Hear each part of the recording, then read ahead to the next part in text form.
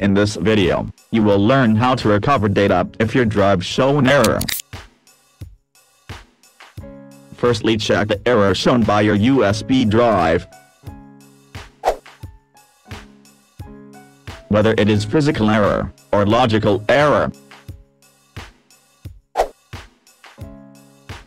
If your drive show an logical error, like your USB is connected in my computers, but its file system is not visible, show an error message of format the disk before you use, and you can see it in disk management.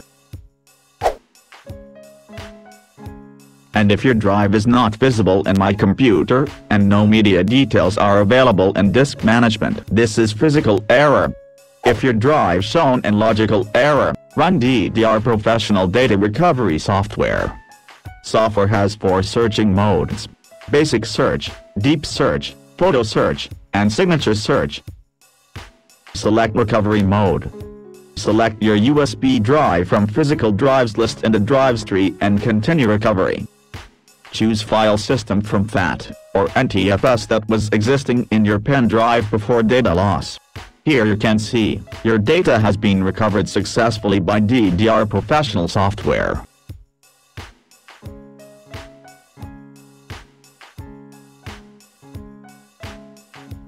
Select the files or folder that you want to save, and click on Save button.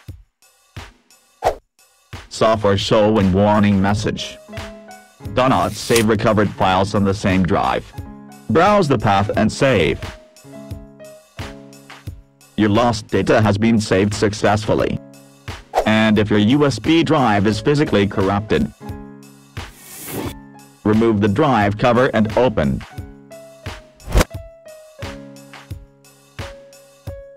Here you can see the circuit board of your USB drive. We are showing you the microscopic view of pen drive. Firstly check the pins that connect chip to circuit board in your pen drive. There should not be any breakage in the circuit. And then check the pins that connect connector to circuit board. As you can see, here is different type of pin in these connectors, short them with screwdrivers. Now pen drive is detected in my computer. Copy your data. Paste your copied data in your machine. Thanks for visiting.